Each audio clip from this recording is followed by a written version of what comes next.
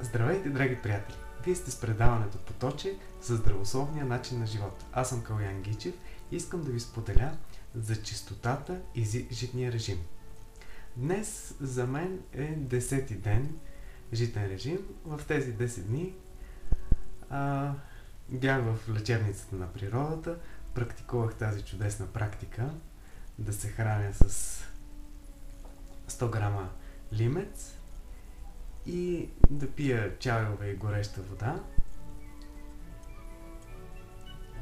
И днес усещам в, в тялото си, още, още от вчера много силно се засили това. Разбира се, това е постепенен етап, но вчера и днес е особено осезаема тази чистота. Тялото не се усеща. А, някакси лекотата и чистотата са толкова, толкова хубави, че а, малко като в детството е тялото. Едно, една така радост блика и, и няма, няма нищо, нищо излишно в него. Силите са много добре урегулирани, а, мисълта е спокойна, чувствата също и емоциите са спокойни.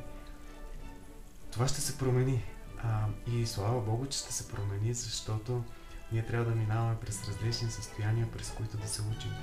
Но тази чистота ще е основа за едни светли, топли и хубави преживявания.